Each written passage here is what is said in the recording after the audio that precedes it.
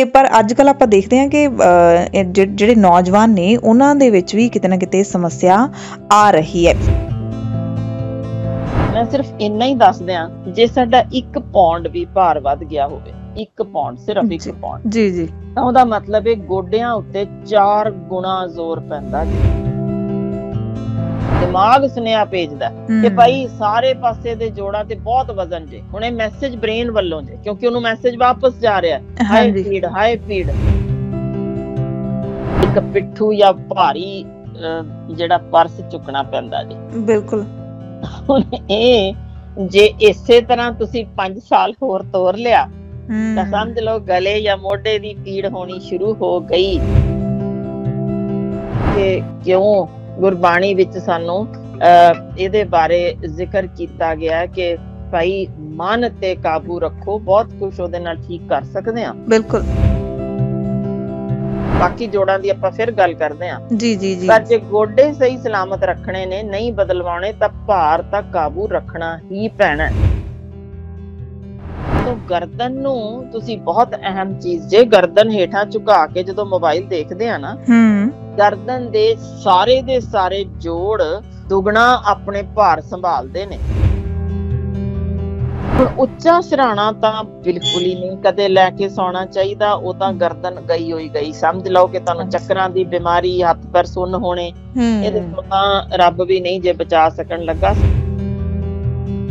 ਉਹਨੂੰ ਤੁਸੀਂ ਜਾਂ ਤਾਂ ਬਲੂਟੁੱਥ ਉਹਨੂੰ ਤੁਸੀਂ ਜੁਆਇਨ ਕਰ ਲਵੋ ਜਾਂ ਫਿਰ ਤੁਸੀਂ ਜਦੋਂ ਬੈਠ ਕੇ ਗੱਲ ਕਰਦੇ ਹੋ ਤਾਂ ਬਕਾਇਦਾ ਕੁਰਸੀ ਮੇਜ਼ ਤੇ ਰੱਖ ਕੇ ਇਹਨੂੰ ਬੈਠ ਕੇ ਸਾਹਮਣੇ ਪੂਰਾ ਰੱਖ ਕੇ ਤਾਂ ਕਿ ਗਰਦਨ ਤੁਹਾਡੀ ਕਿਸੇ ਵੀ ਹਾਲ ਵਿੱਚ 1 ਇੰਚ ਤੋਂ ਵੱਧ ਨਾ ਝੁਕੇ। ਮੈਂ 1 ਇੰਚ ਨਾਲ ਵੀ ਦੁੱਗਣਾ ਭਾਰ ਦੱਸ ਰਹੀ ਹਾਂ।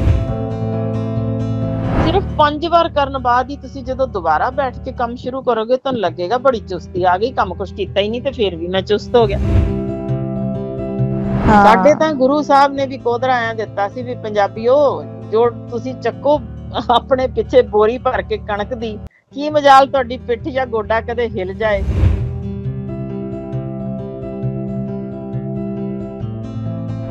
ਜੇ ਮਨ ਤੰਦਰੁਸਤ ਤਾਂ ਤਨ ਵੀ ਤੰਦਰੁਸਤ। ਅਸੀਂ ਗੰਦਗੀ ਖਾਣ ਤੋਂ ਹਟ ਜਾਈਏ ਬਿਮਾਰੀਆਂ ਹੀ ਨਹੀਂ ਹੋਣਗੀਆਂ। ਸਮੁੱਚੀ ਮਾਨਵਤਾ ਲਈ ਤੰਦਰੁਸਤ ਰਹੋ ਹੱਸਦੇ ਰਹੋ ਵਸਦੇ ਰਹੋ ਤੇ ਖੇੜੇ ਵੰਡੋ।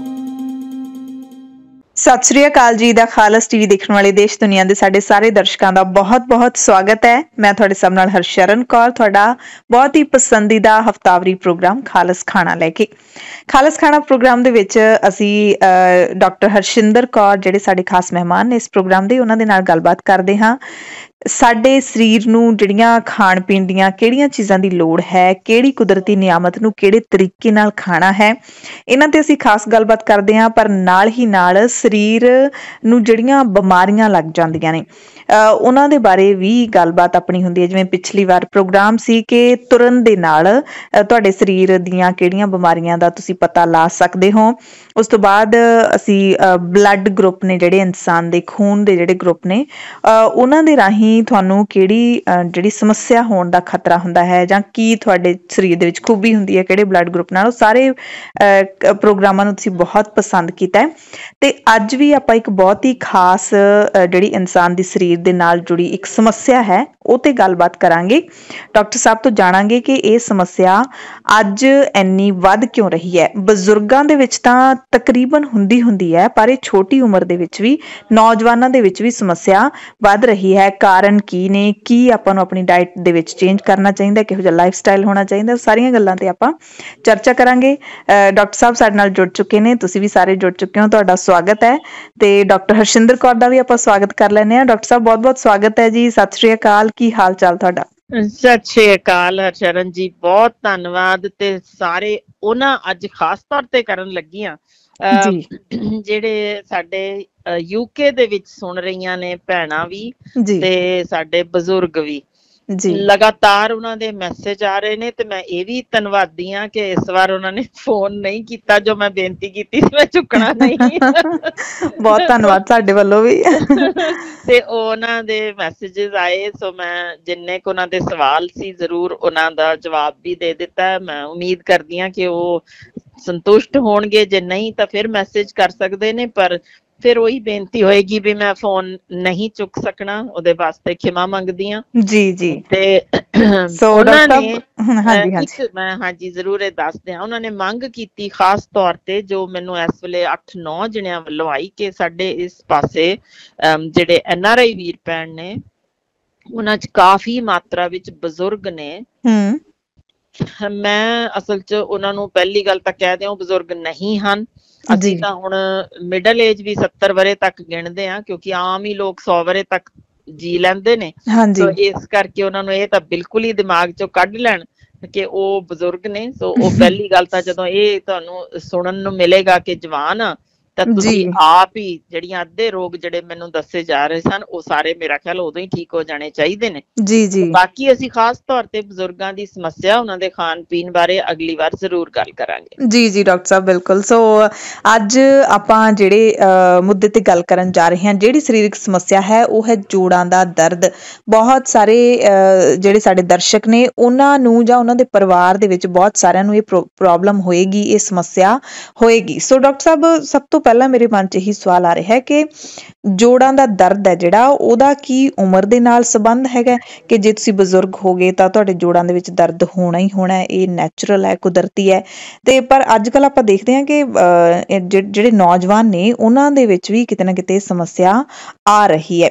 ਸਟਿਫ ਹੋ ਜਾਂਦੀਆਂ ਨੇ ਤੁਹਾਡੀਆਂ, ਤੁਹਾਡਾ ਸਰੀਰ ਹੈ ਜਿਹੜਾ ਕਈ ਥਾਵਾਂ ਤੋਂ ਸਟਿਫ ਹੋ ਜਾਂਦਾ ਹੈ, ਫਿਰ ਤੁਸੀਂ ਜਾ ਕੇ ਮਾਲਸ਼ਾਂ ਵਗੈਰਾ ਕਰਵਾਉਂਦੇ ਹੋ। ਸੋ ਬਹੁਤ ਸਾਰੀਆਂ ਚੀਜ਼ਾਂ ਵੀ ਆ ਗਈਆਂ ਨੇ। ਸੋ ਤੁਸੀਂ ਦੱਸੋ ਵੀ ਇਹ ਉਮਰ ਦੇ ਨਾਲ ਸੰਬੰਧ ਹੈ ਕਿ ਉਮਰ ਨਾਲ ਹੋਣਾ ਹੀ ਹੋਣਾ ਦੇਖੋ ਮੈਂ ਥੋੜੀ ਅਹ, ਬਸ ਚਾਰ ਪੰਜ ਹੀ ਕਾਰਨ ਜਿਹੜੇ ਮੈਡੀਕਲ ਟਰਮਸ ਥੋੜੇ ਜਿਹੇ ਬੋਲਦੇ ਆ ਉਸ ਤੋਂ ਬਾਅਦ ਮੈਂ ਦੱਸਣਾ ਚਾਹਾਂਗੀ ਕਿ ਕੀ ਹੁੰਦਾ ਜੇ ਜੋੜਾਂ ਦੇ ਅੰਦਰ ਤੇ ਕਿਵੇਂ ਇਹਨਾਂ ਨੂੰ ਤੰਦਰੁਸਤ ਰੱਖ ਸਕਦੇ ਆ ਕਿਉਂ ਛੋਟੀ ਉਮਰੇ ਸਾਡੇ ਇਸ ਵੇਲੇ ਜੋੜ ਖਰਾਬ ਹੋਣੇ ਸ਼ੁਰੂ ਹੋਏ ਨੇ ਤੇ ਜੀ। ਕਿਵੇਂ ਹਰ ਬੱਸ ਦੇ ਪਿੱਛੇ ਵੀ ਹੁਣ ਤਾਂ ਇਸ਼ਤਿਹਾਰ ਦੋ ਹੀ ਜਣਿਆਂ ਦੇ ਲੱਗਦੇ ਨੇ ਜਾਂ ਮਾਨਯੋਗ ਮੁੱਖ ਮੰਤਰੀ ਸਾਹਿਬ ਦਾ ਤੇ ਜਾਂ ਜਿਹੜੇ ਗੋਡੇ ਬਦਲਵਾਉਣ ਲਈ ਉਹ ਲਿਖਦੇ ਨੇ ਕਿ ਅਸੀਂ 5 ਲੱਖ ਵਿੱਚ ਗੋਡੇ ਬਦਲ ਦਵਾਂਗੇ। ਸੋ ਆ ਗੋਡੇ ਬਦਲਣ ਦਾ ਵਾਵਾ ਸੋਹਣਾ ਕੰਮ ਚੱਲ ਰਿਹਾ। ਹੈ ਵੀ ਬਿਲਕੁਲ। ਮੈਂ ਦੱਸ ਦਿਆਂ ਕਿ ਇੱਕ ਤਾਂ ਐਨਕਾਈਲੋਜ਼ਿੰਗ ਸਪੌਂਡਿਲਾਈਟਿਸ ਬਿਮਾਰੀ ਜੇ ਜਿਸ ਸਦਕਾ ਜੋੜ ਖਰਾਬ ਹੋ ਜਾਂਦੇ ਨੇ ਇਸੇ ਤਰ੍ਹਾਂ ਲਹੂ ਨਾ ਜਾਣਾ ਉੱਥੋਂ ਬੰਦ ਹੋ ਜਾਏ ਤਾਂ ਇਹ ਵੈਸਕੂਲਰ ਨੈਕਰੋਸਿਸ ਨਾਲ ਉਹ ਹੱਡੀ ਗਲ ਜਾਂਦੀ ਜੇ। ਜੀ ਜੀ। ਹੱਡੀ ਦਾ ਕੈਂਸਰ ਹੋਵੇ ਹੱਡੀ ਟੁੱਟ ਗਈ ਹੋਏ ਤਰੇੜ ਪਈ ਹੋਵੇ ਜਾਂ ਹੱਡੀ ਦੇ ਨੇੜੇ ਜਿਹੜੇ ਤੇ ਜੋੜ ਦੇ ਵਿੱਚ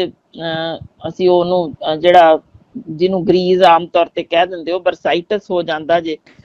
ਜਾਂ ਬਹੁਤ ਕੁਝ ਹੋਰ ਜਿਵੇਂ ਮੇਜਰ ਡਿਪਰੈਸ਼ਨ ਤੱਕ ਦੇ ਵਿੱਚ ਇਸ ਤਰ੍ਹਾਂ ਜਾਂ ਅਡਲਟ ਸਟਿਲਸ ਡਿਜ਼ੀਜ਼ ਇਦਾਂ ਦੇ ਬਹੁਤ ਸਾਰੇ ਨੇ ਕਾਰਨ ਜੀ ਜਿਹੜੇ ਜੋੜਾਂ ਦੇ ਦਰਦ ਤੋਂ ਲੈ ਕੇ ਰੋਮੈਟਿਕ ਹਾਰਟ ਡਿਜ਼ੀਜ਼ ਵੀ ਇੱਕ ਬੱਚਿਆਂ 'ਚ ਹੈ ਉਹਨਾਂ ਦੇ ਵਿੱਚ ਵੀ ਹੋ ਜਾਂਦਾ। ਠੀਕ ਹੈ ਪਰ ਆਪਾਂ ਥੋੜੇ ਜੇ ਆਮ ਕਾਰਨ ਜਿਹੜਿਆਂ ਦੇ ਕਾਰਨ ਬਹੁਤ ਵੱਡੀ ਗਿਣਤੀ ਕਿਉਂਕਿ ਹਰ ਕਿਸੇ ਵਿੱਚ ਹੱਡੀ ਦਾ ਟੁੱਟਣਾ ਜਾਂ ਹੱਡੀ ਦਾ ਕੈਂਸਰ ਹੀ ਨਹੀਂ ਹੱਡੀਆਂ ਕਮਜ਼ੋਰ ਹੋਣੀਆਂ ਉਹ ਵੀ ਬਹੁਤ ਆਮ ਕਾਰਨ ਹੈ ਪਰ ਗੱਲ ਮੈਂ ਕਿਉਂਕਿ ਸ਼ੁਰੂ ਗੋਡੇ ਤੋਂ ਕੀਤੀ ਸੀ ਮੈਂ ਸਿਰਫ ਇੰਨਾ ਹੀ ਦੱਸ ਦਿਆਂ ਜੇ ਸਾਡਾ 1 ਪੌਂਡ ਵੀ ਭਾਰ ਵੱਧ ਗਿਆ ਹੋਵੇ 1 ਪੌਂਡ ਸਿਰਫ 1 ਜੀ। ਪੌਂਡ ਜੀ ਜੀ। ਤਾਂ ਉਹਦਾ ਮਤਲਬ ਹੈ ਗੋਡਿਆਂ ਉੱਤੇ 4 ਗੁਣਾ ਜ਼ੋਰ ਪੈਂਦਾ ਜੇ। ਹੂੰ। ਤੇ ਫਿਰ ਅਸੀਂ ਸੋਚਦੇ ਹਾਂ ਵੀ ਇਸ ਵਧੇ ਭਾਰ ਨਾਲ ਸਿਰਫ ਗੋਡਿਆਂ ਤੇ ਹੀ ਅਸਰ ਪੈ ਰਿਹਾ ਜੇ ਬਿਲਕੁਲ ਨਹੀਂ।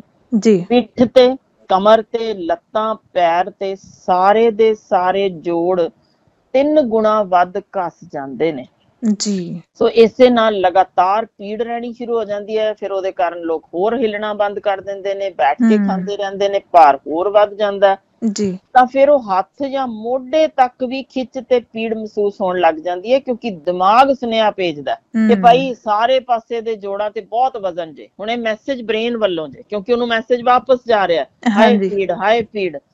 ਤੁਸੀਂ ਸਮਝ ਸਕਦੇ ਹੋ ਕਿ ਕਿਉਂ ਗੁਰਬਾਣੀ ਵਿੱਚ ਸਾਨੂੰ ਇਹਦੇ ਬਾਰੇ ਜ਼ਿਕਰ ਕੀਤਾ ਗਿਆ ਹੈ ਕਿ ਭਾਈ ਮਨ ਤੇ ਕਾਬੂ ਰੱਖੋ ਬਹੁਤ ਕੁਝ ਉਹਦੇ ਨਾਲ ਠੀਕ ਕਰ ਸਕਦੇ ਆ ਬਿਲਕੁਲ।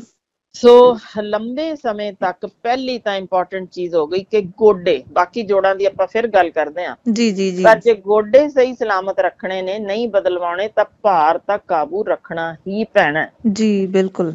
ਤਾਂ ਖੁਰਾਕ 'ਚ ਆਪਾਂ ਗੱਲ ਬਾਅਦ ਵਿੱਚ ਕਰਾਂਗੇ ਕਿ ਕਿਵੇਂ ਹਰੀਆਂ ਸਬਜ਼ੀਆਂ ਰੱਖਣੀਆਂ ਸੰਤੁਲਿਤ ਖੁਰਾਕ ਕਿਵੇਂ ਰੱਖਣੀ ਹੈ ਮਿੱਠਾ ਕਿਉਂ ਘਟਾਉਣਾ ਹੈ ਨਮਕ ਕਿਉਂ ਘਟਾਉਣਾ ਹੈ ਘਿਓ ਤੇ ਕਾਬੂ ਕਰਨਾ ਹੈ। ਜੀ। ਪਰ ਨਾਲ ਕਸਰਤ ਬਗੈਰ ਤਾਂ ਸਰਨਾ ਹੀ ਨਹੀਂ। ਬਿਲਕੁਲ ਯਾਨੀ ਕਿ ਮਤਲਬ ਮੇਨ ਜਿਹੜੀ ਇਹ ਸਮੱਸਿਆ ਆਉਂਦੀ ਹੈ ਖਾਸ ਕਰਕੇ ਗੋਡਿਆਂ ਦਾ ਦਰਦ ਆਮ ਤੌਰ ਤੇ ਆਪਣੇ ਘਰਾਂ ਦੇ ਵਿੱਚ ਜਿਹੜੇ ਜਿਹੜੀਆਂ ਆਪਣੀਆਂ ਮਾਤਾਵਾਂ ਹੁੰਦੀਆਂ ਨੇ ਦਾਦੀਆਂ ਹੁੰਦੀਆਂ ਨੇ ਉਹ ਕਹਿੰਦੇ ਆਏ ਹਾਏ ਗੋਡੇ ਦੁਖਦੇ ਨੇ ਉੱਠਿਆ ਨਹੀਂ ਜਾਂਦਾ ਗੋਡੇ ਜੁੜ ਗਏ। ਸੋ ਇਹ ਸ਼ਬਦ ਆਮ ਹੀ ਸੁਣਨ ਨੂੰ ਮਿਲਦੇ ਰਹਿੰਦੇ ਨੇ।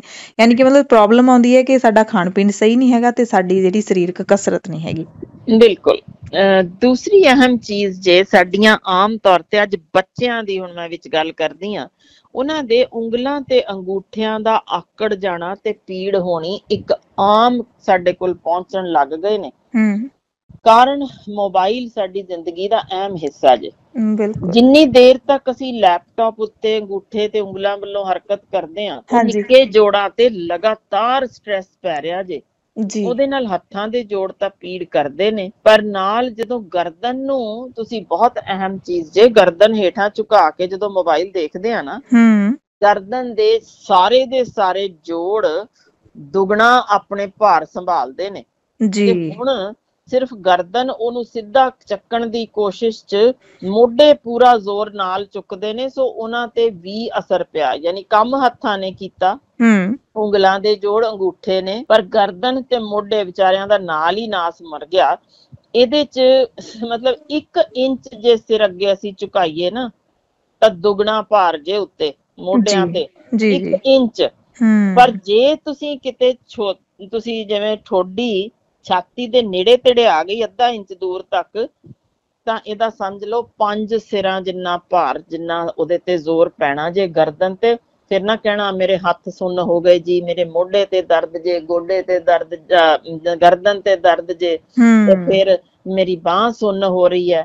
ਤਾਂ ਮਹਾਰਾਜ ਇਹੀ ਕਾਰਨ ਜੇ ਅਸੀਂ ਆਪ ਹੀ ਇਹਨੂੰ ਖਰਾਬ ਕਰ ਦਿੱਤਾ ਜੇ। ਜੀ। ਇਹਦਾ ਮਤਲਬ ਹੈ ਜੇ ਮੋਬਾਈਲ ਜਾਂ ਲੈਪਟਾਪ ਤੁਸੀਂ ਵਰਤਣਾ ਜੇ ਜੀ। ਤਾਂ ਮੋਟਰਸਾਈਕਲ ਚਲਾਉਣ ਲੱਗਿਆਂ ਵੀ ਬੇਹੂਦਾ ਤਰੀਕੇ ਨਾਲ ਗਰਦਨ ਟੇਢੀ ਕਰਕੇ ਐਕਸੀਡੈਂਟ ਕਰਵਾਉਣ ਨਾਲੋਂ ਉਹਨੂੰ। ਤੁਸੀਂ ਜਾਂ ਤਾਂ ਬਲੂਟੁੱਥ ਨੂੰ ਤੁਸੀਂ ਜੁਆਇਨ ਕਰ ਲਵੋ ਜਾਂ ਫਿਰ ਤੁਸੀਂ ਜਦੋਂ ਬੈਠ ਕੇ ਗੱਲ ਕਰਦੇ ਹੋ ਤਾਂ ਬਕਾਇਦਾ ਕੁਰਸੀ ਮੇਜ਼ ਤੇ ਰੱਖ ਕੇ ਇਹਨੂੰ ਬੈਠ ਕੇ ਸਾਹਮਣੇ ਪੂਰਾ ਰੱਖ ਕੇ ਤਾਂ ਕਿ ਗਰਦਨ ਤੁਹਾਡੀ ਕਿਸੇ ਵੀ ਹਾਲ ਵਿੱਚ 1 ਇੰਚ ਤੋਂ ਵੱਧ ਨਾ ਝੁਕੇ ਮੈਂ 1 ਇੰਚ ਨਾਲ ਵੀ ਦੁੱਗਣਾ ਭਾਰ ਦੱਸ ਰਹੀ ਹਾਂ। ਜੀ ਜੀ। ਤਾਂ ਇੰਨਾ ਇਹ ਕੰਮ ਜੇ ਅਸੀਂ ਕਰ ਲਈਏ ਤਾਂ ਇਹਦੇ ਨਾਲ ਕਾਫੀ ਬੈਟਰ ਹੋ ਸਕਦੇ ਹਾਂ।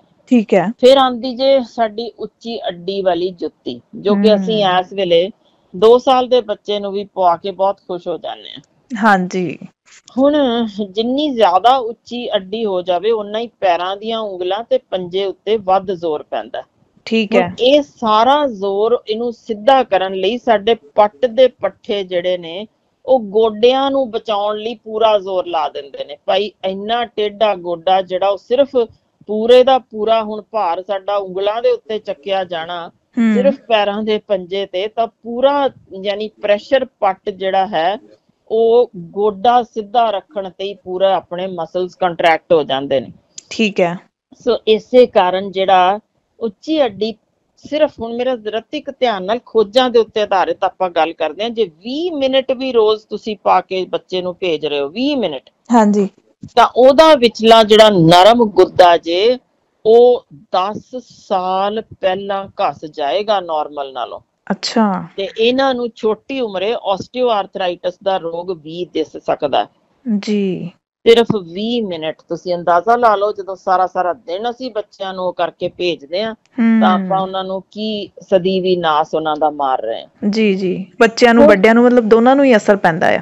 ਜੀ ਬਿਲਕੁਲ। ਬੱਚਿਆਂ ਦੇ ਸਿਰਫ ਇਸ ਕਾਰਨ ਕਿ ਹੁਣ ਉਸ ਉਮਰੇ ਇਹ ਦਰਦਾਂ ਹੁੰਦੀਆਂ ਨਹੀਂ ਪਰ ਜਦੋਂ ਹੋਣੀਆਂ ਸ਼ੁਰੂ ਹੋ ਚੁੱਕੀਆਂ ਤਾਂ ਸਮਝ ਆ ਜਾਏ ਕਿ ਜਿਹੜੇ ਵੱਡੇ ਵੀ ਆਪਣੇ ਫੈਸ਼ਨ ਦੇ ਆਧਾਰ ਤੇ ਪਾ ਰਹੇ ਨੇ ਹਾਂਜੀ। ਉਹਨਾਂ ਨੂੰ ਵੀ ਤੁਹਾਨੂੰ ਜੇ 20 ਮਿੰਟ ਤੋਂ ਉੱਪਰ ਪਾਣਾ ਪੈ ਰਿਹਾ ਤੇ ਕਾਰ ਦੇ ਵਿੱਚ ਦੂਜੀ ਜੁੱਤੀ ਰੱਖ ਲਓ ਜੀ ਉਸ ਤੋਂ ਪਹਿਲਾਂ ਹੀ ਤਬਦੀਲ ਕਰਕੇ ਉਧਰ ਸ਼ਿਫਟ ਹੋ ਜਾਓ ਨੰਗੇ ਪੈਰ ਹੋ ਜਾਓ ਭਾਵੇਂ ਵਿੱਚੋਂ ਲਾ ਕੇ ਹੂੰ। ਪਰ 20 ਮਿੰਟ ਤੋਂ ਵੱਧ ਇਹਨੂੰ ਨਾ ਪਾਇਓ। ਠੀਕ ਹੈ। ਹੁਣ ਕਈ ਵਾਰ ਹੁੰਦਾ ਆਪਣੀ ਜੁੱਤੀ ਬਹੁਤ ਪਸੰਦ ਦੀ ਹੁੰਦੀ ਹੈ। ਹਾਂਜੀ। ਤਾਂ ਮਜਬੂਰੀ ਕਾਰਨ ਤੇ ਕਈ ਉਹ ਥੋੜਾ ਜਿਹਾ ਘਸ ਵੀ ਜਾਏ ਬਹੁਤ ਪਿਆਰੀ ਬੜੀ ਸੌਫਟ ਹੈ ਮੈਂ ਤਾਂ ਇਹੀ ਪਾਣੀ ਹੈ। ਕਈ। ਵਿਚਾਰੇ ਮਜਬੂਰੀ ਵਸ ਥੱਲਾ ਹੁੰਦਾ ਨਹੀਂ ਉਸੇ ਤਰ੍ਹਾਂ ਹੀ ਵਿਚਾਰੇ ਤੁਰੇ ਰਹਿੰਦੇ ਨੇ। ਹਾਂਜੀ।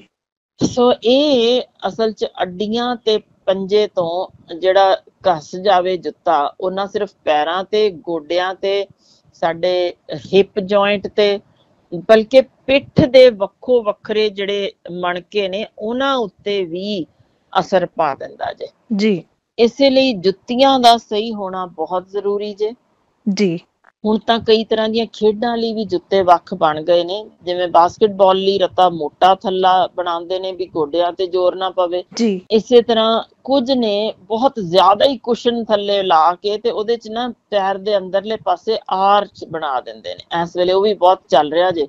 ਜੀ। ਉਹ ਵੀ ਕਈ ਵਾਰ ਲੋੜੋਂ ਵੱਧ ਉੱਚੀ ਆਰਚ ਜਿਹੜੀ ਹੈ ਲੱਤ ਦੇ ਪੱਠਿਆਂ ਤੇ ਖਿੱਚ ਪਾ ਕੇ ਗੋਡਿਆਂ ਦਾ ਨਾਸ ਮਾਰ ਸਕਦੀ ਜੇ ਪੈਰਾਂ ਦਾ ਵੀ ਉਹ ਅਜੀਬ ਤਰੀਕੇ ਟੇਢੇ ਹੋਣ ਲੱਗ ਜਾਂਦੇ ਨੇ ਤੇ ਗੋਡੇ ਵੀ ਖਰਾਬ ਹੋ ਜਾਣਗੇ। ਜੀ। ਹੁਣ ਮੈਂ ਮੇਰਾ ਖਿਆਲ ਕੋਈ ਵਿਰਲਾ ਹੀ ਦਿਨ ਲੰਘਿਆ ਹੋਣਾ ਜਿਹਦੇ ਮੈਂ ਨਾ ਦੇਖਿਆ ਹੋਇਆ ਕਿਸੇ ਨੂੰ ਕਿ ਉਂਗਲਾਂ ਦੇ ਪਟਾਕੇ ਮਾਰਨੇ। ਹੂੰ ਹਾਂਜੀ ਆਮ ਹੀ ਹੈ। ਬੈਠੇ ਉਹ ਤੁਸੀਂ ਕਿਸੇ ਨੂੰ ਵੀ ਦੇਖ ਸਕਦੇ ਹੋ ਕਿ ਉਹਨੂੰ ਖਿੱਚ ਕੇ ਉਂਗਲ ਨੂੰ ਪਟਾਕਾ ਮਾਰ ਲਿਆ ਜਾਂ ਪਿੱਛੇ ਨੂੰ ਘੁਮਾ ਕੇ ਮਾਰ ਲਿਆ ਯਾਨੀ ਇਹ ਇੰਨੀ ਕੁ ਆਮ ਦੇਖਣ ਨੂੰ ਮਿਲਦੀ ਜੇ ਕਿ ਮੈਂ ਤਾਂ ਪਹਿਲਾਂ ਹੀ ਕਹਤਾ ਵਿਰਲਾ ਹੀ ਕੋਈ ਦਿਨ ਲੰਘਦਾ ਕਿ ਅਸੀਂ ਬਾਹਰ ਹੋਈਏ ਜਾਂ ਮਰੀਜ਼ ਦੇਖ ਰਹੇ ਹੋਈਏ ਤੇ ਕੋਈ ਏਦਾਂ ਨਾ ਕਰਦਾ ਹੋਵੇ। ਹੂੰ ਜੀ। ਇਹ ਜਿਹੜਾ ਪੁੱਠਾ ਮੋੜ ਕੇ ਜਿਹਨੂੰ ਪਟਾਕੇ ਕੱਢਨੇ ਅਸੀਂ ਜੋ ਕਰਦੇ ਆ ਇਹਦੇ ਨਾਲ ਆਰਥਰਾਈਟਿਸ ਤਾਂ ਨਹੀਂ ਹੁੰਦਾ। ਜੀ। ਪਰ ਇਹ ਦੱਸਦੇ ਆ ਮੈਂ ਜਿਵੇਂ ਜਿਵੇਂ ਉਮਰ ਵੱਧਦੀ ਜੇ ਤੁਹਾਡੇ ਹੱਥਾਂ ਵਿੱਚ ਹਲਕੀ ਸੋਜ਼ਿਸ਼ ਜਾਂ ਉਹਦੀ ਪਕੜ ਵਿੱਚ ਕਮਜ਼ੋਰੀ ਹੋਣੀ ਸ਼ੁਰੂ ਹੋ ਜਾਂਦੀ ਜੇ। ਠੀਕ ਹੈ। ਤੋ ਇਹ ਚੀਜ਼ ਤਾਂ ਬਿਲਕੁਲ ਨਹੀਂ ਕਰਨੀ ਚਾਹੀਦੀ। ਹੁਣ ਆਮ ਹੀ ਹੁੰਦਾ ਜੇ ਦੇਖੋ ਹਰਸ਼ਨ ਤੁਸੀਂ ਦੌੜਨਾ ਭੱਜਣਾ ਸਾਰਾ ਦਿਨ ਘਰੋਂ ਤੁਰਨਾ ਖਾਣਾ ਨਾਲ ਲਿਜਾਣਾ ਹਾਂਜੀ। ਤੋ ਇੱਕ ਪਿੱਠੂ ਜਾਂ ਭਾਰੀ ਜਿਹੜਾ ਪਰਸ ਚੁੱਕਣਾ ਪੈਂਦਾ ਜੀ। ਬਿਲਕੁਲ। ਹੁਣ ਇਹ ਜੇ ਇਸੇ ਤਰ੍ਹਾਂ ਤੁਸੀਂ 5 ਸਾਲ ਹੋਰ ਤੋਰ ਲਿਆ ਤਾਂ ਸਮਝ ਲਓ ਗਲੇ ਜਾਂ ਮੋਢੇ ਦੀ ਪੀੜ ਹੋਣੀ ਸ਼ੁਰੂ ਹੋ ਗਈ। ਇਸੇ ਲਈ ਇਹ ਲਾਜ਼ਮੀ ਹੈ ਕਿ ਜਦੋਂ ਭਾਰੀ ਪਿੱਠੂ ਜਾਂ ਪਰਸ ਚੁੱਕਿਆ ਹੋਵੇ ਤੁਸੀਂ ਮੋਢੇ ਤੇ ਹਾਂਜੀ। ਮੈਂ ਹੱਥਾਂ ਦਾ ਬਾਅਦ ਚ ਦੱਸਦੀ ਹਾਂ ਮੋਢੇ ਤੇ ਜੇ ਚੱਕਿਆ ਅੱਛਾ। ਤਾਂ ਹਰ 10 ਮਿੰਟ ਦੇ ਵਿੱਚ ਵਿੱਚ ਤੁਹਾਨੂੰ ਪਾਸਾ ਬਦਲਣਾ ਪਏਗਾ। ਉਸ ਤੋਂ ਵੱਧ ਕੰਟੀਨਿਊ ਨਹੀਂ ਜਾਂ ਭਾਵੇਂ ਤੁਸੀਂ ਜੇ ਤੁਸੀਂ ਪਿੱਠੂ ਚੱਕਿਆ ਹੋਇਆ ਤਾਂ ਉਹਨੂੰ ਥੋੜੀ ਦੇਰ ਅਗਲੇ ਪਾਸੇ ਨੂੰ ਕਰ ਲਓ। ਜੀ। ਫਿਰ ਪਿਛਲੇ ਪਾਸੇ ਜਾਂ ਇੱਕ ਮੋਢੇ ਤੇ ਬਦਲ ਕੇ ਦੂਸਰੇ ਤੇ ਇਸ ਤਰ੍ਹਾਂ ਚੇਂਜ ਕਰਦੇ ਰਹੋਗੇ। ਤਾਂ ਫਿਰ ਇਹ ਡੈਮੇਜ ਨਹੀਂ ਹੋਏਗਾ। ਇਸੇ ਤਰ੍ਹਾਂ ਪਰਸ ਅਕ੍ਰੋਸ ਦੀ ਗਲਾ ਜਦੋਂ ਅਸੀਂ ਪਾ ਦਿੰਨੇ ਆ ਉਦੋਂ ਵੀ ਇਹਦਾ ਸਾਈਡ ਚੇਂਜ ਹੋਣੀ ਬਹੁਤ ਜ਼ਰੂਰੀ ਜੇ। ਹੂੰ। ਹੁਣ ਜੇ ਅਸੀਂ ਫਰਜ਼ ਕਰੋ ਕੋਈ ਭਾਰ ਚੁੱਕਣਾ ਹੋਵੇ ਜਾਂ ਧੱਕਣਾ ਹੋਵੇ ਆਮ ਹੀ ਹੈ ਕਿ ਆਪਾਂ ਹੱਥ ਨਾਲ ਕੋਸ਼ਿਸ਼ ਕਰਦੇ ਆ ਮੇਜ਼ ਜਾਂ ਕੁਰਸੀ ਜਾਂ ਕੋਈ ਚੀਜ਼ ਬੈਗ ਹੈ ਭਾਰਾ ਧੱਕਣ ਨਾਲ। ਹਾਂਜੀ। ਕੋਸ਼ਿਸ਼ ਕੀਤੀ ਜਾਏ ਜਿੱਥੇ ਤੱਕ ਸੰਭਵ ਹੋਵੇ ਤੁਸੀਂ ਮੋਢੇ ਨਾਲ ਜੇ ਧੱਕ ਸਕੋ ਤਾਂ ਤੁਹਾਡੇ ਹੱਥ ਦੇ ਜੋੜ ਸੁਰੱਖਿਅਤ ਰਹਿੰਦੇ ਨੇ ਉਹਨਾਂ ਹੱਡੀ ਕ੍ਰੈਕ ਹੋਣ ਦਾ ਖਤਰਾ ਘਟ ਜਾਂਦਾ ਤੇ ਜੇ ਤੁਸੀਂ ਜਿਵੇਂ ਮੰਜਾ ਪਰਾਂ ਧੱਕਣਾ ਹੋਵੇ ਜਾਂ। ਤੁਹਾਨੂੰ ਚੁੱਕਣ ਦੀ ਲੋੜ ਹੋਵੇ ਤਾਂ ਗੋਡੇ ਸਿੱਧੇ ਕਰਕੇ ਕਦੇ ਵੀ ਨਹੀਂ ਕਰਨਾ। ਹਮੇਸ਼ਾ ਗੋਡਿਆਂ ਨੂੰ ਰੱਤਾ ਕ ਮੋੜ ਦੇਣਾ ਤਾਂ ਕਿ ਲੱਤਾਂ ਦੇ ਪੱਠਿਆਂ ਤੇ ਭਾਰ ਪਵੇ ਨਾ ਕਿ ਗੋਡੇ ਦੇ ਉੱਤੇ ਉਹ ਜੋੜਾਂ ਤੇ ਭਾਰ ਨਾ ਪਵੇ। ਠੀਕ ਹੈ। ਹੁਣ ਇੰਜ ਹੀ ਜਿਵੇਂ ਅਸੀਂ ਬਾਜ਼ਾਰ ਨਿਕਲਦੇ ਆਂ ਆਪਾਂ ਕੋਈ ਥੈਲਾ ਹੱਥ ਵਿੱਚ ਸਬਜ਼ੀ ਦਾ ਜਾਂ ਕੋਈ ਸਮਾਨ ਖਰੀਦ ਲਿਆ। ਹਾਂਜੀ। ਆਮ ਅਸੀਂ ਕਰਦੇ ਆਂ ਕਿ ਉਂਗਲਾਂ ਨਾਲ ਫੜ ਲੈਣੇ ਇੰਨਾ ਭਾਰਾ ਨਹੀਂ ਹੈ। ਬਿਲਕੁਲ। ਉਸ ਨੂੰ ਉਂਗਲ ਨਾਲ ਫੜਨ ਦੀ ਥਾਂ ਤੁਸੀਂ ਜੇ ਪੂਰੀ ਮੁਠੀ ਦੇ ਵਿੱਚ ਉਹਨੂੰ ਬੰਦ ਕਰਕੇ ਫੜੋਗੇ ਤਾਂ ਉਹ ਤੁਹਾਡੀਆਂ ਉਂਗਲਾਂ ਦੇ ਜੋੜ ਹੱਦੋਂ ਵੱਧ ਨਹੀਂ ਖਿੱਚੇ ਜਾਂਦੇ ਤੇ ਉਹ ਤੁਹਾਨੂੰ ਉਂਗਲਾਂ ਦੀ ਪੀੜ ਜਾਂ ਉਂਗਲਾਂ 'ਚ ਸੋਜ਼ਿਸ਼ ਜਾਂ ਅਕੜਾਓ ਨਹੀਂ ਹੋਏਗਾ। ਜੀ ਜੀ। ਹੁਣ ਹੀ ਸੌਣ ਦੇ ਢੰਗ ਵਿੱਚ ਤੁਸੀਂ ਆਮ ਦੇਖਦੇ ਹੋਗੇ ਕਿ ਬਹੁਤ ਸਾਰੇ ਜਣੇ ਮੈਂ ਤਾਂ ਆਪਣੇ ਆਪ ਨੂੰ ਵੀ ਵੇਖਦੀ ਆ ਕਿ ਬਚਪਨ ਵਿੱਚ ਮੈਨੂੰ ਬਹੁਤ ਸ਼ੌਕ ਸੀ ਪੁੱਠੇ ਸੌਣ ਦਾ ਤੋ ਬਹੁਤ ਜਣੇ ਬੱਚੇ ਤੁਸੀਂ ਅੱਜ ਵੀ ਦੇਖਦੇ ਹੋ ਪੁੱਠੇ ਉਲਟੇ ਸੌਂਦੇ। ਹਾਂਜੀ ਹਾਂਜੀ ਉਹਦੇ ਵਿੱਚ ਇੱਕ ਅਹਿਮ ਗੱਲ ਜੇ ਕਿ ਜਦੋਂ ਪੁੱਠੇ ਢਿੱਡ ਤੁਸੀਂ ਅਹ, ਲੇਟਦੇ ਹੋ ਇਸ ਤਰ੍ਹਾਂ ਮਤਲਬ ਢਿੱਡ ਭਰਨੇ ਲੇਟਦੇ ਹੋ ਹਾਂਜੀ। ਤਾਂ ਸਿਰ ਆਮ ਤੌਰ ਤੇ ਇੱਕ ਪਾਸੇ ਹੁੰਦਾ ਜੇ ਵਰਨਾ ਤਾਂ ਨੱਕ ਨਾਲ ਸਾਹ ਹੀ ਰੁਕ ਜਾਵੇ। ਹੂੰ। ਤੇ ਉਹ ਰੀੜ ਦੀ ਹੱਡੀ ਟੇਢੀ ਹੋ ਜਾਂਦੀ ਜੇ ਉਸ ਤਰ੍ਹਾਂ ਸੋ ਜੇ ਲਗਾਤਾਰ ਉਸੇ ਤਰ੍ਹਾਂ ਹੀ ਲੇਟਿਆ ਜਾਵੇ ਹੂੰ। ਤਾਂ ਰੀੜ ਦੀ ਹੱਡੀ ਤਕਲੀਫ ਦੇ ਸਕਦੀ ਹੈ ਛੋਟੇ ਬੱਚੇ ਦੀ ਵੀ ਪਿੱਠ ਦਰਦ ਰਹਿ ਸਕਦੀ ਹੈ। ਸੋ ਇਸੇ ਲਈ ਕੋਸ਼ਿਸ਼ ਕੀਤੀ ਜਾਵੇ ਕਿ ਬਦਲਦੇ ਰਹੋ ਪਾਸਾ ਯਾਨੀ ਪੁੱਠੇ ਲੇਟਿਓ ਫਿਰ ਪਾਸਾ ਪਾਸੇ ਵੱਲ ਨੂੰ ਲੇਟ ਜਾਓ ਫਿਰ ਸਿੱਧੇ ਲੇਟ ਜਾਓ ਇਸ ਤਰ੍ਹਾਂ ਤਬਦੀਲ ਕਰ ਲੈਣਾ ਚਾਹੀਦਾ ਠੀਕ ਹੈ ਹੁਣ ਉੱਚਾ ਸਿਰਹਾਣਾ ਤਾਂ ਬਿਲਕੁਲ ਹੀ ਨਹੀਂ ਕਦੇ ਲੈ ਕੇ ਸੌਣਾ ਚਾਹੀਦਾ ਉਹ ਤਾਂ। ਗਰਦਨ ਗਈ ਹੋਈ ਗਈ ਸਮਝ ਲਓ ਕਿ ਤੁਹਾਨੂੰ। ਚੱਕਰਾਂ ਦੀ ਬਿਮਾਰੀ ਹੱਥ ਪੈਰ ਸੁੰਨ ਹੋਣੇ ਇਹਦੇ ਤੋਂ ਤਾਂ ਰੱਬ ਵੀ ਨਹੀਂ ਜੇ ਬਚਾ ਸਕਣ ਲੱਗਾ ਸੋ ਇਹਨੂੰ ਤਾਂ ਜ਼ਰੂਰ ਬਚਾ ਲਓ। ਪਰ ਕਈ ਕਈ ਮੈਂ ਦੇਖਿਆ ਡਾਕਟਰ ਸਾਹਿਬ ਜਿਨ੍ਹਾਂ ਨੂੰ ਸਰਵਾਈਕਲ ਦੀ ਵੀ ਪ੍ਰੋਬਲਮ ਹੁੰਦੀ ਹੈ ਤੇ ਰਾਤ ਨੂੰ ਉੱਚਾ ਜਾਂ ਫਿਰ ਜਿਹੜਾ ਸਖਤ ਜਿਹਾ ਸਰਾਣਾ ਹੁੰਦਾ ਉਹ ਲੈ ਕੇ ਸੌਂਦੇ ਨੇ ਕਿ ਥੋੜਾ ਜਿਹਾ ਮੋਟਾ ਵੀ ਹੋਵੇ ਤੇ ਸਖਤ ਵੀ ਹੋਵੇ। ਪਰ ਜਿੰਨਾ ਅਸੀਂ ਉੱਚਾ ਲੈ ਕੇ ਸੌਂਦੇ ਆ ਨਾ ਜਿੱਥੇ ਗਰਦਨ ਦੀ ਹੱਡੀ ਰੀੜ ਜਿਹੜੀ ਰੀੜ ਵਾਲੀ ਹੱਡੀ ਜਦੋਂ ਹੇਠਾਂ ਛਾਤੀ ਨਾਲ ਮਿਲਦੀ ਜੇ ਉਸ ਥਾਂ ਤੇ ਸਦੀਵੀ ਕੁੱਬ ਦਿਸਣ ਲੱਗ ਜਾਂਦਾ ਜੇ। ਤੁਸੀਂ ਦੇਖੋਗੇ ਕੁਝ ਸਾਲਾਂ ਵਿੱਚ ਉਹ ਪਰਮਾਨੈਂਟਲੀ ਉਹਦੀ ਪੋਸਚਰ ਚੇਂਜ ਹੋ ਜਾਂਦਾ ਜੇ ਜਿਹੜਾ ਹੌਲੀ ਹੌਲੀ ਅੱਗੇ ਉਮਰ ਦੇ ਵਿੱਚ ਫਿਰ ਬੜੀ ਤਗੜੀ ਦਰਦ ਵੱਲ ਨੂੰ ਤਬਦੀਲ ਹੋ ਜਾਂਦਾ ਜੀ ਤੇ ਸਭ ਤੋਂ ਵਧੀਆ ਗੱਲ ਇਹ ਹੈ ਕਿ ਸਰਾਣਾ ਨਾ ਹੀ ਲਓ ਜਾਂ ਫਿਰ ਹਲਕਾ ਲਓ। ਹਾਂ ਹਲਕਾ ਬਿਲਕੁਲ ਨਾ ਲੈਣਾ ਵੀ ਠੀਕ ਨਹੀਂ ਸੋ ਹਲਕਾ ਜਿਹਾ ਜ਼ਰੂਰ ਲੈ ਲੈਣਾ ਚਾਹੀਦਾ। ਠੀਕ ਹੈ ਠੀਕ ਹੈ। ਹੁਣ ਆਮ ਹੀ ਕੀ ਹੁੰਦਾ ਜੇ ਕਿ ਤੁਸੀਂ ਬੈਠੇ ਹੋ ਹੁਣ ਤਾਂ ਮੈਂ ਤੁਹਾਡੇ ਲਈ ਹੀ ਗੱਲ ਕਰਨ ਲੱਗੀ ਆ ਕਿ ਜਿਹੜੇ ਵੀ ਸਾਡੀਆਂ ਬੇਟੀਆਂ ਸਾਡੇ ਸਾਡੀਆਂ ਭੈਣਾਂ ਸਾਡੀਆਂ ਮਾਵਾਂ ਜ਼ਿਆਦਾ ਬੈਠ ਕੇ ਕੰਮ ਕਰਨਾ ਪੈਂਦਾ ਜੇ। ਜਾਂ ਸਾਡੇ ਵੀਰ ਜਿਨ੍ਹਾਂ ਨੂੰ ਲੱਗਦਾ ਹੈ ਉਹ ਬਹੁਤ ਸਮਾਂ ਆਫਿਸ 'ਚ ਬੈਠੇ ਰਹਿੰਦੇ ਨੇ ਬੇਨਤੀ ਹੈ ਜਦੋਂ ਹੀ 20 ਮਿੰਟ ਹੁੰਦੇ ਦਿਸਣ ਇੱਕ ਵਾਰ ਖੜੇ ਹੋ ਕੇ ਲੱਤਾਂ ਬਾਹਾਂ ਸਟ੍ਰੈਚ ਕਰਕੇ ਜਿਵੇਂ ਬਾਹਾਂ ਉੱਤੇ ਨੂੰ ਖਿੱਚ ਕੇ ਆਕੜ ਜਿਸ ਤਰੀਕੇ ਲਈਦੀ ਹੈ ਇਸੇ ਤਰ੍ਹਾਂ ਬਾਹਾਂ ਸਾਈਡ ਵੱਲ ਫੈਲਾ ਕੇ ਯਾਨੀ ਉੱਪਰ ਤੇ ਸਾਈਡ ਵੱਲ ਫੈਲਾ ਕੇ ਲੱਤਾਂ ਇਸੇ ਤਰ੍ਹਾਂ ਖੜੇ ਖੜੇ ਤੁਸੀਂ ਪੱਬਾਂ ਭਾਰ ਇਸ ਤਰ੍ਹਾਂ ਲੱਤਾਂ ਵੀ ਉੱਤੇ ਚੁੱਕ ਕੇ ਪੰਜ ਵਾਰ ਇਸ ਤਰ੍ਹਾਂ ਕਰਕੇ ਫਿਰ ਬੈਠ ਜਾਓ ਫਿਰ ਦੁਬਾਰਾ ਸ਼ੁਰੂ ਹੋ ਜਾਓ। ਤਾਂ ਇਹਨੇ ਕੀ ਤੁਹਾਡੀ ਸਰਕੂਲੇਸ਼ਨ ਠੀਕ ਹੋ ਜਾਂਦੀ ਉਹ ਪੱਠੇ ਇੱਕੋ ਹੀ ਪੋਜੀਸ਼ਨ 'ਚ ਮੁੜੇ ਜਿਹੜੇ ਜਾਂ ਜੋੜ ਉਸੇ ਤਰੀਕੇ ਮੁੜੇ ਉਹਨਾਂ ਨੂੰ ਆਰਾਮ ਮਿਲ ਜਾਂਦਾ ਉਹ ਦੁਬਾਰਾ ਤੁਸੀਂ ਦੇਖੋਗੇ ਸਿਰਫ ਪੰਜ ਵਾਰ ਕਰਨ ਬਾਅਦ ਹੀ ਤੁਸੀਂ ਜਦੋਂ ਦੁਬਾਰਾ ਬੈਠ ਕੇ ਕੰਮ ਸ਼ੁਰੂ ਕਰੋਗੇ, ਤੁਹਾਨੂੰ ਲੱਗੇਗਾ ਬੜੀ ਚੁਸਤੀ, ਆ ਗਈ ਕੰਮ ਕੁਝ ਕੀਤਾ ਹੀ ਨਹੀਂ ਤੇ ਫਿਰ ਵੀ ਮੈਂ ਚੁਸਤ ਹੋ ਗਿਆ। ਜੀ ਜੀ। ਆਮ ਤੌਰ ਤੇ ਡਾਕਟਰ ਸਾਹਿਬ, ਮੈਂ ਵੀ ਬੜੀ ਵਾਰੀ ਸੁਣਿਆ ਕਿ ਜਿਨ੍ਹਾਂ ਦਾ ਸਿਟਿੰਗ ਦਾ ਅੱਜਕੱਲ ਸਿਟਿੰਗ ਜੌਬਸ ਨੇ, ਸਾਡੀ ਦੇਖ ਲਓ ਮੀਡੀਆ ਦੀ ਜੌਬ ਹੈਗੀ ਹੈ, ਤੇ ਇਹਦੇ ਵਿੱਚ ਕਈ ਜਿਹੜੀਆਂ ਨਿਊਜ਼ ਡੈਸਕ ਦੀਆਂ ਜੌਬ ਨੇ ਕਿ ਲਗਾਤਾਰ ਤੁਸੀਂ ਬੈਠ ਕੇ ਕੰਪਿਊਟਰ ਤੇ ਬੈਠੇ ਰਹੋ, ਤਾਂ ਇਹੀ ਸੁਝਾਅ ਦਿੱਤਾ ਜਾਂਦਾ ਹੈ ਕਿ ਵਾਰੀ ਟ੍ਰੇਨਿੰਗ ਲੱਗਦੀ ਹੈ ਕਿ ਘੰਟੇ ਦੇ ਵਿੱਚ ਇੱਕ ਵਾਰੀ ਤੁਸੀਂ 1 ਮਿੰਟ ਲਈ ਚਾਹੇ ਉੱਠ ਕੇ ਮਾੜਾ ਜਿਹਾ ਗੇੜਾ ਲਾਇਓ, ਪਰ ਉੱਠਣਾ ਜ਼ਰੂਰ ਹੈ। ਸੋ ਤੁਸੀਂ ਜਿਹੜੀ ਸਟ੍ਰੈਚਿੰਗ ਦੀ ਦੱਸੀ ਹੈ, ਉਹ ਤਾਂ ਹੋਰ ਵੀ ਮੈਨੂੰ ਲੱਗਦਾ ਬੈਟਰ ਨਹੀਂ ਪਰ ਇਹ ਜੋ ਸਟ੍ਰੈਚਿੰਗ ਹੈ ਜੋ ਰਿਸਰਚ ਦੱਸਦੀ ਜੇ ਕਿ 20 ਮਿੰਟ ਦੇ ਵਿੱਚ ਤੁਹਾਨੂੰ ਇਹ ਜ਼ਰੂਰੀ ਕਰਨਾ ਪੈਣਾ ਕਿਉਂਕਿ ਜੇ 20 ਮਿੰਟ ਤੋਂ ਉੱਪਰ ਤੁਸੀਂ ਟਪਾ ਲੈਂਦੇ ਹੋ ਹੌਲੀ ਹੌਲੀ ਤਾਂ ਉਹ ਤੁਹਾਡੇ ਜੋੜ ਸੁਸਤ ਪੈਣ ਲੱਗ ਜਾਂਦੇ ਨੇ। ਪੱਠੇ ਉਸੇ ਤਰ੍ਹਾਂ ਇੱਕ ਖਿੱਚਿਆ ਹੋਇਆ ਤੇ ਦੂਜਾ ਬਿਲਕੁਲ ਕੱਸਿਆ ਹੋਇਆ। ਸੋ ਇਹ ਜਿਹੜੀ ਚੀਜ਼ ਹੈ ਹੌਲੀ ਹੌਲੀ ਤੁਹਾਨੂੰ ਬਾਅਦ ਚ ਪਤਾ ਲੱਗਦੀ ਜੇ 5-7 ਸਾਲਾਂ ਬਾਅਦ ਵੀ ਹਾਂ ਗੜਬੜ ਹੋਈ। ਸੋ ਕੋਸ਼ਿਸ਼ ਇਹੋ ਕੀਤੀ ਜਾਏ ਕਿ 20 ਮਿੰਟ ਬਾਅਦ ਤੁਸੀਂ ਜੇ ਇਸ ਤਰ੍ਹਾਂ ਦੀ ਇੱਕ ਵਾਰ ਸਟ੍ਰੈਚਿੰਗ ਕਰ ਲਓ ਤਾਂ ਕਾਫੀ ਠੀਕ ਹੋ ਸਕਦਾ। ਜੀ ਜੀ। ਹੁਣ ਨਾਰਮਲ ਜੋ ਅਸੀਂ ਗਿਣਦੇ ਆ ਕਿ 30 ਸਾਲਾਂ ਬਾਅਦ 30 ਸਾਲ ਦੀ ਉਮਰ ਪੂਰੀ ਹੋਣ ਤੋਂ ਬਾਅਦ ਹੱਡੀਆਂ ਰੱਤਾ ਰੱਤਾ ਘਸਣੀਆਂ ਸ਼ੁਰੂ ਹੋ ਜਾਂਦੀਆਂ ਨੇ। ਹਾਂਜੀ। 40 ਸਾਲ ਦੀ ਉਮਰ ਪੂਰੀ ਹੋਣ ਤੋਂ ਬਾਅਦ ਹੱਡੀਆਂ ਕਾਫੀ ਕਮਜ਼ੋਰ ਪੈ ਜਾਂਦੀਆਂ ਨੇ। ਇਸ ਲਈ ਰੈਗੂਲਰ ਜੇ ਤੁਸੀਂ ਹੱਡੀਆਂ ਤਗੜੀਆਂ ਰੱਖਣੀਆਂ ਤਾਂ ਖਾਲੀ ਹੱਥ ਨਾ ਤੁਰੋ। ਕੁਛ ਨਾ ਕੁਛ ਭਾਰ ਚੁੱਕ ਕੇ ਤੁਰੋ ਨਾ ਤੁਰਨ ਨਾਲ ਹੀ ਤੁਹਾਨੂੰ ਬਹੁਤ ਫਾਇਦਾ ਹੋ ਜਾਏਗਾ। ਜਾਂ ਰੈਗੂਲਰ ਭੱਜੋ ਤੇਜ਼ ਤੁਰਨਾ ਜਿੱਥੇ ਤੁਹਾਡੇ ਪੱਠੇ ਮਜ਼ਬੂਤ ਕਰੇਗਾ ਤੁਹਾਡੀਆਂ ਹੱਡੀਆਂ ਵੀ ਨਹੀਂ ਖੁਰਨ ਦੇਗਾ ਇਸ ਤਰ੍ਹਾਂ ਜੋੜ ਵਡੇਰੀ ਉਮਰ ਤੱਕ ਲਚਕੀਲੇ ਰਹਿੰਦੇ ਨੇ ਜੋੜ ਬਦਲਨੇ ਨਹੀਂ ਪੈਣਗੇ। ਸੋ ਇਹ ਨਹੀਂ ਕਿ ਮੈਂ ਰੋਜ਼ ਕਹਿ ਰਹੀ ਹਾਂ 10 ਕਿਲੋ ਭਾਰ ਚੁੱਕ ਕੇ ਤੁਰੋ। ਹਾਂਜੀ। ਪਰ ਤੁਸੀਂ ਜੇ ਕਿਲੋ ਕ ਤੱਕ ਦਾ ਵੀ ਭਾਰ ਆਪਣਾ ਇਸ ਤਰ੍ਹਾਂ ਕੋਈ ਹੱਥ ਵਿੱਚ ਜਿਵੇਂ ਤੁਹਾਨੂੰ ਦੱਸਿਆ ਸੀ, ਪਰ ਮੁੱਠੀ ਬੰਦ ਕਰਕੇ ਪਰਸ ਚੁੱਕਣਾ ਜੇ ਜਾਂ ਤੁਸੀਂ ਕੁਝ ਵੀ, ਜੇ ਇਦਾਂ weight ਚੁੱਕ ਕੇ ਤੁਸੀਂ ਥੋੜੀ ਲੰਬੀ ਵਾਕ ਕਰ ਆਂਦੇ ਹੋ, ਤਾਂ ਤੁਹਾਡਾ ਉਹ ਕਾਫੀ ਬੈਨੀਫਿਟ ਹੈ। ਠੀਕ ਹੈ। ਪਰ ਹੱਦੋਂ ਵੱਧ ਵੀ ਤੁਸੀਂ ਮੈਂ ਰੋਜ਼ ਜੀ 5 ਕਿਲੋ 7 ਕਿਲੋ ਚੁੱਕ ਕੇ ਤੁਰਦਾ ਨੇ ਉਹ ਵੀ ਤੁਹਾਡਾ ਫਿਰ ਉਲਟਾ ਅਸਰ ਸਗੋਂ ਪਾ ਦੇਗਾ ਕਿਉਂਕਿ ਤੁਹਾਡੇ ਗੋਡਿਆਂ ਦਾ ਪੇੜਾ ਗਰਕ ਹੋ ਜਾਣਾ ਜੇ ਉਹਨੇ ਭਾਰ ਚੁੱਕ ਇਹਦਾ ਵੀ ਧਿਆਨ ਰੱਖਣਾ ਵੀ ਜੇ ਆਪਾਂ ਹਰ ਵਾਰੀ ਤੁਸੀਂ ਕਹਿੰਦੇ ਹੋ ਕਿ ਹਰ ਚੀਜ਼ ਨੂੰ ਜੇ ਤੁਸੀਂ ਬਹੁਤਾਤ ਚ ਕਰਨ ਲੱਗ ਜਾਓਗੇ ਤਾਂ ਨੁਕਸਾਨ ਹੀ ਦੇਊਗੀ ਕਮਲਿਆਂ ਵਾਂਗੂ। ਬਿਲਕੁਲ।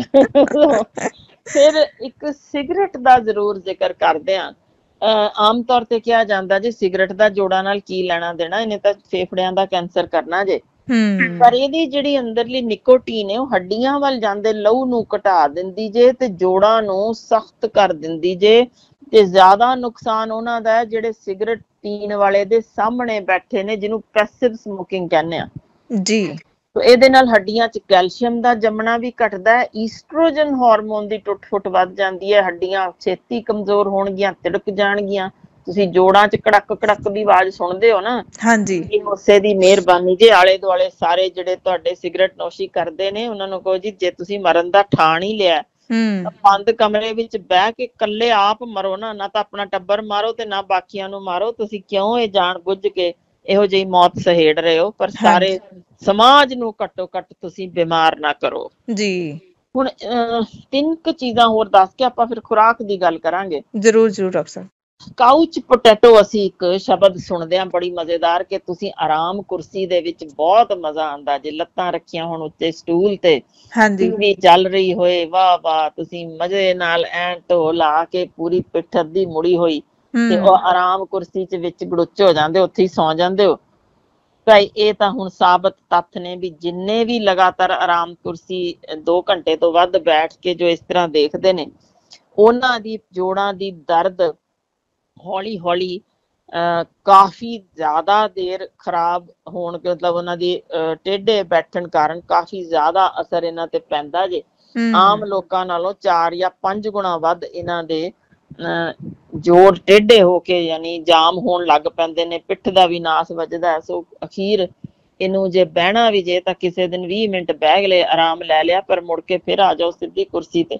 ਜੀ। ਤੇ ਨਹੀਂ ਤਾਂ ਤੁਹਾਨੂੰ ਉਸ ਤਰ੍ਹਾਂ ਲੇਟ ਕੇ ਮੋਟਾਪਾ ਵੀ ਆਏਗਾ ਬੈਠੇ ਖਾਈ ਵੀ ਜਾਓਗੇ ਉਹ ਚੀਜ਼ ਨੂੰ ਰੋਕਣ ਲਈ ਜ਼ਰੂਰੀ ਜੇ 20 ਮਿੰਟ ਤੋਂ ਵੱਧ ਰੋਜ਼ ਦਾ ਇਸ ਤੋਂ ਉੱਪਰ ਨਾ ਬੈਠਿਆ ਜਾਵੇ। ਠੀਕ ਹੈ। ਹੁਣ ਆਮ ਮੇਰੇ ਕੋਲ ਬੱਚੇ ਆਉਂਦੇ ਨੇ ਜਦੋਂ ਕਹਿਣਗੇ ਜੀ ਅਸੀਂ ਦੌੜਨਾ ਸ਼ੁਰੂ ਕੀਤਾ 20 ਮਿੰਟ ਦੌੜੇ ਜੀ ਦਰਦ ਸ਼ੁਰੂ ਹੋ ਗਈ ਜੀ ਉਹਦੀ ਤਾਂ ਛਾਤੀ 'ਚ ਉਹ ਤਾਂ ਜੀ ਲੱਤਾਂ ਪੀੜ ਹੋ ਗਈਆਂ ਹੁਣ ਨਹੀਂ ਇਸ ਤੋਂ ਬਾਅਦ ਦੌੜ ਸਕਦੇ। ਜੀ। ਮੇਰਾ ਖਿਆਲ ਹੈ ਜੇ ਇਸ ਤਰੀਕੇ ਦੀ ਸੋਚ ਹੁੰਦੇ ਸਾਡਾ ਵੀਰ ਮਿਲਖਾ ਸਿੰਘ ਤਾਂ ਸ਼ਾਇਦ ਫਿਰ ਕਦੇ ਕੁਝ ਕਰ ਹੀ ਨਾ ਸਕਦਾ। ਬਿਲਕੁਲ। ਸੋ ਇਹ ਪੀੜ ਤੁਹਾਨੂੰ ਵਾਰਨਿੰਗ ਦਿੰਦੀ ਹੈ ਜਰ ਜਾ ਓਏ ਜਰ ਜਾ ਇਸ ਤੋਂ ਅੱਗੇ ਤੇਰੇ ਕੋਲ ਫਤਿਹ ਹੈ। ਹੂੰ। ਸੋ ਇੰਨੀ ਕੁ ਪੀੜ ਸੋਚ ਕੇ ਨਾ ਘਬਰਾਇਆ ਕਰੋ ਦੌੜੋ ਇਹ ਨਹੀਂ ਹੈ ਕਿ ਹਮੇਸ਼ਾ ਰੇਸ ਹੀ ਜਿੱਤ ਰਹੇ ਹੋ ਪਰ ਤੁਸੀਂ ਜੋਗਿੰਗ ਕਰੋ ਰਨਿੰਗ ਕਰੋ ਤੁਸੀਂ ਰੱਸੀ ਟੱਪ ਸਕਦੇ ਹੋ ਪੌੜੀਆਂ ਚੜ ਸਕਦੇ ਹੋ ਸਵਿਮਿੰਗ ਕਰ ਸਕਦੇ ਹੋ ਸਾਈਕਲਿੰਗ ਕਰ ਸਕਦੇ ਹੋ ਪਰ ਕਸਰਤ ਕਰੋ ਜ਼ਰੂਰ। ਬਿਲਕੁਲ।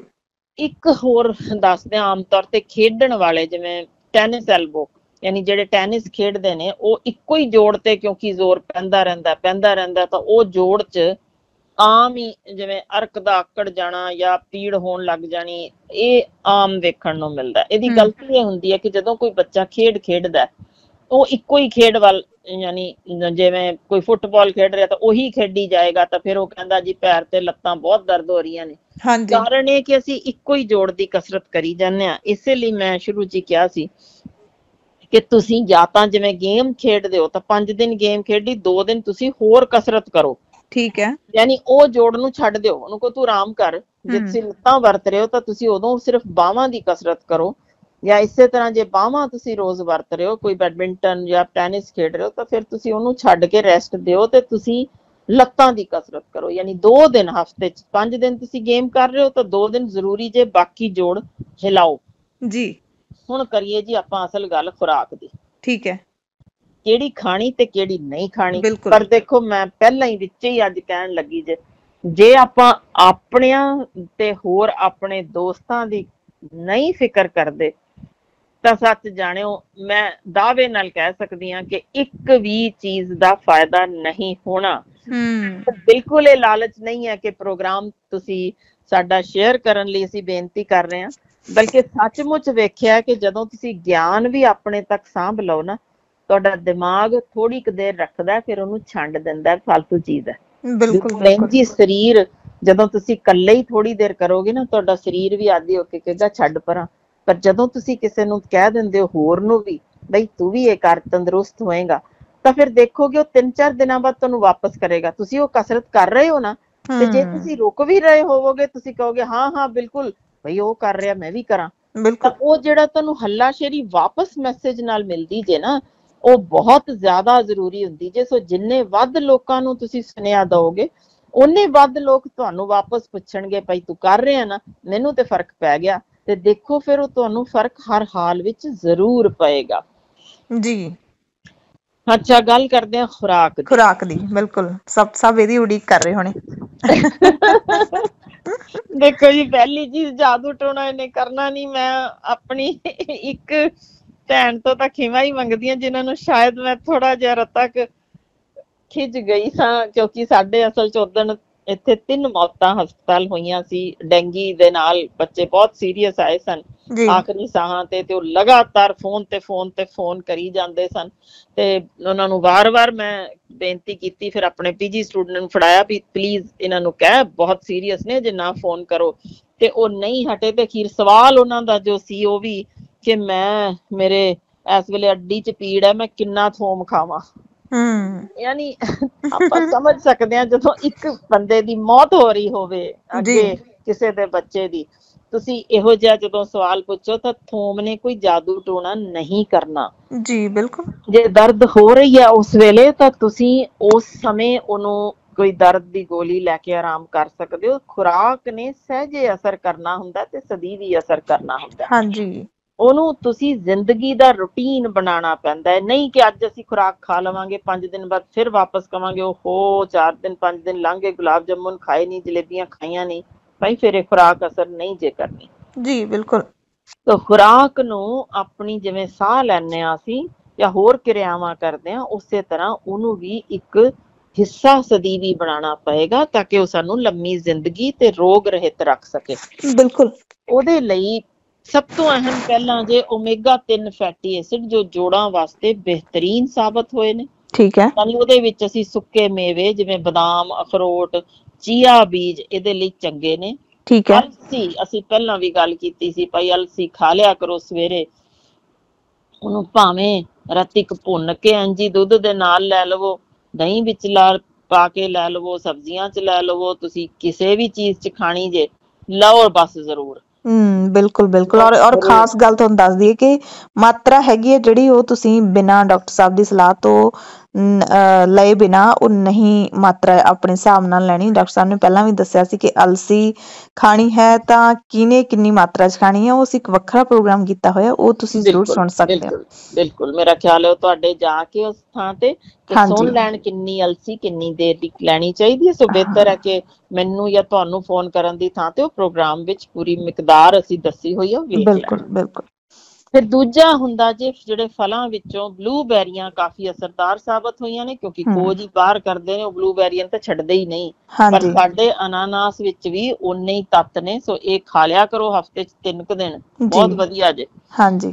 ਹੁਣ ਸਬਜ਼ੀਆਂ ਹਰੀਆਂ ਫਲੀਆਂ ਤਾਂ ਮੈਨੂੰ ਲੱਗਦਾ ਹਰ ਘਰ ਵਿੱਚ ਉਗਣੀਆਂ ਚਾਹੀਦੀਆਂ ਨੇ। ਇਹਦੇ 'ਚ ਇੰਨੀਆਂ ਕੁ ਕਮਾਲ ਦੀਆਂ ਚੀਜ਼ਾਂ ਨੇ ਕਿ ਆਪਾਂ ਕਦੇ ਇਸ ਤੇ ਪ੍ਰੋਗਰਾਮ ਵੀ ਅਲੱਗ ਕਰਾਂਗੇ। ਜ਼ਰੂਰ ਜ਼ਰੂਰ ਇਸੇ ਤਰ੍ਹਾਂ ਟਮਾਟਰ ਫੁੱਲ। ਗੋਭੀ ਜੀ। ਤੇ ਬਰੋਕਲੀ ਇਹ ਵੀ ਅਸਰਦਾਰ ਨੇ। ਠੀਕ ਹੈ। ਮਤਲਬ ਤੁਹਾਡੀ ਰੋਜ਼ਾਨਾ ਦੀ ਜਿਹੜੀ ਖੁਰਾਕ ਹੈ ਉਹਦੇ 'ਚ ਸ਼ਾਮਲ ਹੋਣੀ ਚੀਜ਼ਾਂ। ਆ, ਮੈਂ ਹੁਣ ਤੁਹਾਨੂੰ ਇੱਕ ਸਿਹਤਮੰਦ ਯਾਨੀ ਨੁਸਖਾ ਦੱਸਣ ਲੱਗੀ ਹਾਂ ਕਿ ਪਲੇਟ ਜਦੋਂ ਰੋਟੀ ਪਾਣੀ ਹੈ ਚਾਰ ਹਿੱਸਿਆਂ 'ਚ ਵੰਡ ਲਿਆ ਕਰੋ। ਠੀਕ ਹੈ। ਇੱਕ ਹਿੱਸੇ ਵਿੱਚ ਤੁਸੀਂ ਪ੍ਰੋਟੀਨ ਰੱਖਣੀ ਜੇ ਯਾਨੀ। ਉਹਨੂੰ ਭਾਵੇਂ ਤੁਸੀਂ ਅੰਡਾ ਲੈਣਾ ਜੇ ਤੁਸੀਂ ਮੱਛੀ ਲੈਣੀ ਜੇ ਚਿਕਨ ਲੈਣਾ ਜੇ ਦਾਲਾਂ ਲੈਣੀਆਂ ਜੇ ਉਹ ਤੁਸੀਂ ਇੱਕ ਕੋਨਾ ਹੋ ਗਿਆ। ਜੀ। ਇੱਕ ਜਿਹੜਾ ਮਤਲਬ ਚੌਥਾਈ ਤਾਂ ਉਹ ਚਲਾ ਗਿਆ। ਅਗਲਾ ਜਿਹੜਾ ਇੱਕ ਚੌਥਾਈ ਹੈ ਉਹਦੇ ਵਿੱਚ ਤੁਸੀਂ ਰੱਖਣਾ ਜੇ ਸਲਾਦ ਤਿੰਨ ਰੰਗਾਂ ਦਾ। ਜੀ। ਯਾਨੀ ਟਮਾਟਰ ਗਏ ਭਾਵੇਂ ਤੁਸੀਂ ਉਹਨੂੰ। ਨਾਲ ਬਰੋਕਲੀ ਰੱਖ ਲਈ ਜਾਂ ਖੀਰਾ ਯਾਨੀ ਤਿੰਨ ਵੱਖੋ ਵੱਖਰੇ ਰੰਗਾਂ ਦਾ ਉਹਦੇ ਚ ਸਲਾਦ ਆ ਗਿਆ। ਠੀਕ ਹੈ।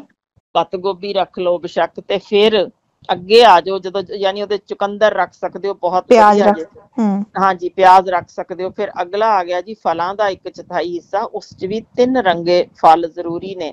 ਜਿਵੇਂ। ਕੇਲਾ ਰੱਖ ਸਕਦੇ ਹੋ ਤੁਸੀਂ ਸੇਬ ਰੱਖ ਸਕਦੇ ਹੋ ਅੰਗੂਰ ਰੱਖ ਸਕਦੇ ਹੋ। ਨਹੀਂ ਕਿ ਕਿਲੋ ਕਿਲੋ ਖਾਣੇ ਨੇ ਪਲੇਟ। ਦੇ ਚਾਰ ਹਿੱਸੇ ਵੰਡੇ ਜੇ ਸੋ ਉਹਨਾਂ ਕੀ ਪਾਇਓ।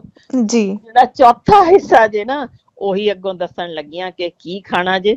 ਛਾਣ ਬੁਰੇ ਵਾਲਾ ਆਟਾ ਜਿਸ ਚ ਦੋ ਆਟਿਆਂ ਤੇ ਖੋਜ ਹੋ ਕੇ ਸਾਬਤ ਕਰ ਚੁੱਕੇ ਨੇ ਜੀ। ਵਾਪਸ ਗਰੀਜ਼ ਤੱਕ ਵੀ ਪੈਦਾ ਕਰਨ ਵਾਲੀ ਜੇ ਰਾਗੀ ਦਾ ਆਟਾ ਬਿਹਤਰੀਨ ਜੇ ਤੇ ਕੋਦਰਾ ਹੈ ਨਾ ਬਿਲਕੁਲ ਸਾਡੇ ਤਾਂ ਗੁਰੂ ਸਾਹਿਬ ਨੇ ਵੀ ਕੋਦਰਾ ਐ ਦਿੱਤਾ ਸੀ ਵੀ ਪੰਜਾਬੀਓ ਜੋ ਤੁਸੀਂ ਚੱਕੋ ਆਪਣੇ ਪਿੱਛੇ ਬੋਰੀ ਭਰ ਕੇ ਕਣਕ ਦੀ ਕੀ ਮਜਾਲ ਤੁਹਾਡੀ ਪਿੱਠ ਜਾਂ ਗੋਡਾ ਕਦੇ ਹਿਲ ਜਾਏ? ਤੇ ਉਹੀ ਕੰਮ ਜੇ ਵਾਕਈ ਜਿਹੜਾ ਅੱਜ ਤੱਕ ਵੀ ਸਾਨੂੰ ਪਹਿਲਾਂ ਸਾਡੇ ਵੱਡੇ ਵਡੇਰਿਆਂ ਨੂੰ ਤੋਰਦਾ ਰਿਹਾ ਸੋ ਆਪਾਂ ਨੂੰ ਰਾਗੀ ਦਾ ਆਟਾ ਤੇ ਕੋਦਰੇ ਵੱਲ ਜ਼ਰੂਰ ਮੁੜਨਾ ਪੈਣਾ। ਜੀ। ਫਿਰ ਦਾਲਾਂ 'ਚ ਬਿਹਤਰੀਨ ਤੁਸੀਂ ਹੁਣ ਹੱਸੋਗੇ ਮੈਂ ਜਦ ਦੱਸਾਂ ਪਰ ਕਾਲੀ ਮਾਂ ਦੀ ਦਾਲ ਤੇ ਸੋਇਆਬੀਨ ਦੋਵੇਂ। ਬਿਹਤਰੀਨ ਨੇ। ਹੁਣ ਇਹਨੂੰ ਵਾਈ ਵਾਈ ਕਰਨਾ ਛੱਡ ਦਿਓ। ਹੂੰ। ਇਹਨੂੰ ਤੁਸੀਂ ਨਾ ਕੌਲੀ ਵਿੱਚ ਚਨੇ ਨਾਲ ਅੱਧੇ ਮਿਕਸ ਕਰਕੇ ਬਣਾ ਕੇ ਜਿਵੇਂ ਗੁਰਦੁਆਰਾ ਸਾਹਿਬ 'ਚ ਖਾ ਲੈਂਦੇ ਹੋ ਨਾ ਮਜ਼ੇ ਨਾਲ ਇਹਨੂੰ ਖਾਣ ਬਾਣੀ ਸ਼ੁਰੂ ਕਰੋ। ਸੋਇਆਬੀਨ ਹੁਣ ਹਫ਼ਤੇ 'ਚ ਤਿੰਨ ਦਿਨ ਜ਼ਰੂਰ ਲੈ ਲਿਆ ਕਰੋ। ਭਾਵੇਂ ਸੋਇਆਬੀਨ ਦੀਆਂ ਵੜੀਆਂ ਬਣਾ ਲਓ ਤੇ ਭਾਵੇਂ ਸੋਇਆਬੀਨ ਇੰਜ ਖਾ ਲਓ ਤੇ ਭਾਵੇਂ ਸੋਇਆਬੀਨ ਦਾ ਆਟਾ ਬਣਾ ਕੇ ਲਓ। ਹੂੰ। ਖਾਣਾ ਤਾਂ ਪੈਣਾ।